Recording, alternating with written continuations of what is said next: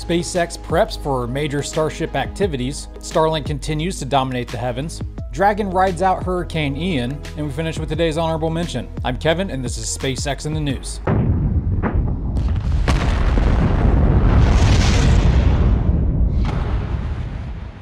Since last week's busy days of testing, SpaceX has been focused more on behind the scenes efforts to prepare for future Starship Super Heavy stacking at the pad, followed soon after by a 33 engine static fire. So, no road closures have been on the books recently, but expect that to change in the near future.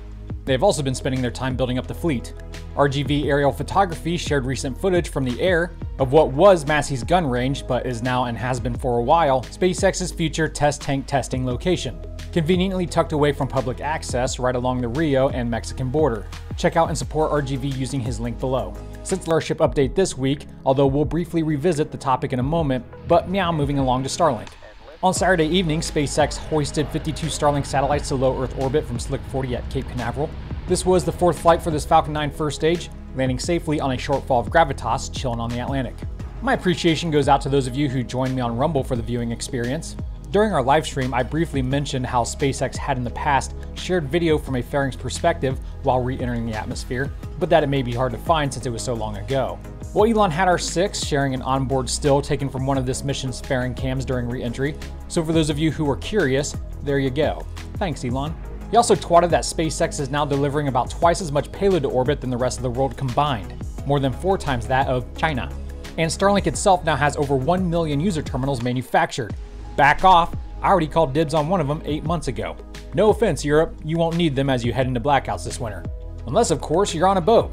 During Hurricane Ian, Elon reminded everyone that Starlink's maritime package enables high speed internet connectivity even in heavy seas with 280 click per hour winds. So you can stream Wolf of Wall Street on your yacht while you sink it like the Titanic. I will not die sober! Ian, which of course made landfall Wednesday as a Category 4 on Florida's southwest coast, is the reason SpaceX and NASA battened down the hatches at their Cape facilities and pushed Dragon's Crew 5 launch date back a couple days to October 5th. We'll stream it live on the tubes, so be sure to subscribe and ring that bell, brah. Even better, join our locals page for free to receive email notifications before every launch. According to NASA's own Steve Stich and SpaceX's highly reputable Gerstenmaier, the two entities are moving forward with building out Crew and Cargo Dragon launch capabilities at Slick 40. Reuters broke the news back in June that SpaceX was looking to do this because they're planning on launching and catching Starship Super Heavy rockets near Pad 39A, hence the tower they're building, which is right next to the extremely valuable Crew Tower. So it would be wise to have a backup location to launch cargo and crew from in case, well, you know, Starship is caught by the wrong tower, so to speak. Gerst said the second crew tower at Slick 40 will be operational by the time Starship launches from 39A. Yesterday, NASA and SpaceX announced an unfunded joint effort to study the feasibility of a SpaceX and Polaris program idea to boost the agency's Hubble Space Telescope into a higher orbit with the Dragon spacecraft at no cost to you and I, the taxpayer. Quote, teams expect the study to take up to six months, collecting technical data from both Hubble and the SpaceX Dragon spacecraft. This data will help determine whether it would be possible to safely rendezvous, dock, and move the telescope into a more stable orbit. So this could end up becoming the primary objective for the Polaris program's second mission. But now it's time for today's honorable mention.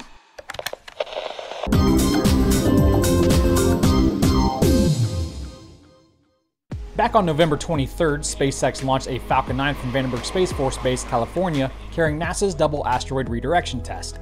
Come on, you knew this was coming.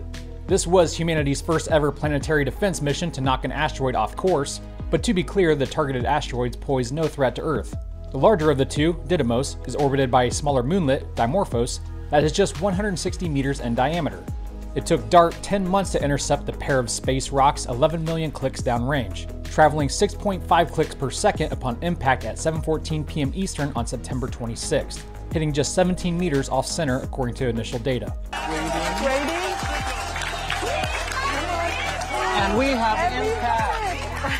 triumph for humanity in the name of planetary defense. NASA and APL's post mission brief came with some high resolution imagery along with a little irony. We also have incredible high resolution imagery from DART's Draco camera. And some info on what is to be expected, Meow. But what we're going to be seeing probably in the next couple of months, we're actually going to get a confirmation of exact uh, period change that we made. So it's not going to be tomorrow, I'm sorry, but it is going, we might see some uh, LICIACube CubeSat images coming up in the next day or two. To confirm the strategy is effective, the data just needs to show a change in speed in Dimorphos' orbit around Didymos, since Earth 2 is constantly moving on its own path through space. However, taking precise measurements is one of the primary purposes of the full-scale test. Well, that's all for today. Congrats for making it to the end. Much love for everyone supporting the show, and have a nominal weekend. Until next time, Godspeed.